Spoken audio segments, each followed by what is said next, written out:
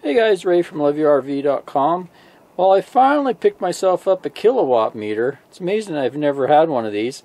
I guess because I can measure stuff with my multimeter and stuff, but uh, this makes it very easy to see what uh, an appliance will draw as far as wattage, which is really important if you're starting to map out your system for boondocking in an RV. You can plug stuff into this and kind of get a figure a figure out what kind of energy it's going to draw. So let me get it out of the package and I'll go through some of its features and why it why it might why you might want one of these for uh, a RV and especially if you're going to be doing any dry camping.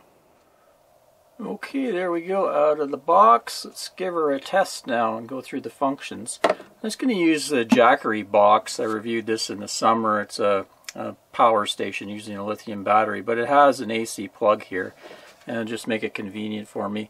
Most of my RV plugs are in strange locations, like there's one up there, but you can plug it into any household outlet. So let's try plugging it into this one's uh, inverter output which is one reason I wanted uh, a device like this. It's going to make it easy for me when I'm doing reviews on, on stuff like this where I'm testing an inverter output rather than getting my multimeter out and my amp meter and all that kind of stuff. This thing will show it all on this display.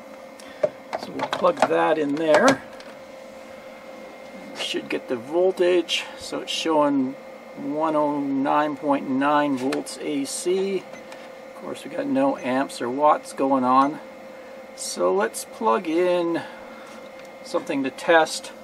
What I'm going to use is Ann's uh, electric throw here. She really likes this for cold nights. And it doesn't draw too much power, so I'm going to plug it in just to test out how much it draws. We'll put that in there and we'll crank this on. We'll put it on to full here. Okay, so let's check her out. Shows we're drawing about 0.9 amps, about 97 watts out of the, the box here. Which is uh, pretty close. I think this is rated for 120 watts max, this electric throw.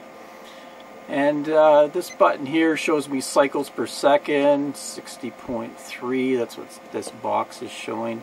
And here we have kilowatt hours and how long we've been measuring it. So that's four minutes.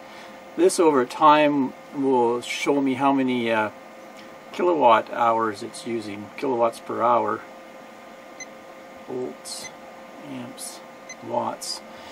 So uh, for figuring out, oh, you could see it cycle there because this uh, electric throw kind of cycles um, as it heats up there's a thermostat in it so you can see how it's cycling. That's where the kilowatts per hour would come in if you ran it say over the course of uh, eight hours or something. It would show you exactly uh, how much energy it used and that's where it comes in handy for uh, figuring out your off-grid system. You can plug different items in here and run it the time that you're going to run it in a day and slowly add up how many kilowatt hours you're going to use in a day.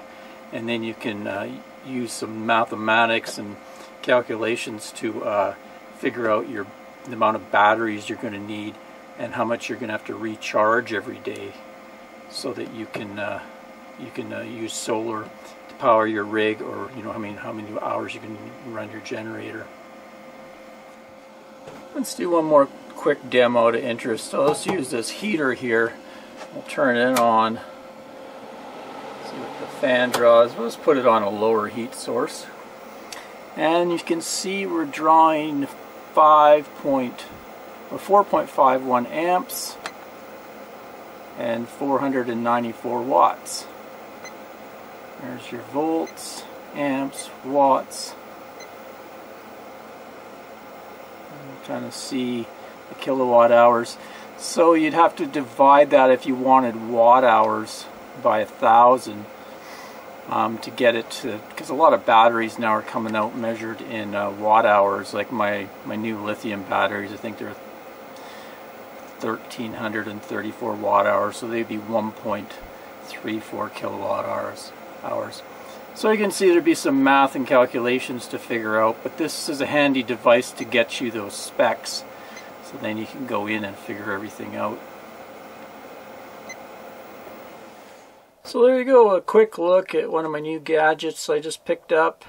Um, I got it off of uh, Amazon, I think it was around $24.95. Uh, this is the Kill A Watt. I noticed when I going through Amazon, there was all kinds of other ones too from different manufacturers, as low as uh, like $14.95. So they probably all do mostly the same thing. I just picked this one up because this is the one that's been around for quite a while. And I guess uh, you'll see it as I go uh, going through, you know, but probably use it in a lot of reviews and stuff. So I'll update you on on how it's worked out for me. Till next time, Ray from LoveYourRV.com. Thanks for watching. Cheers.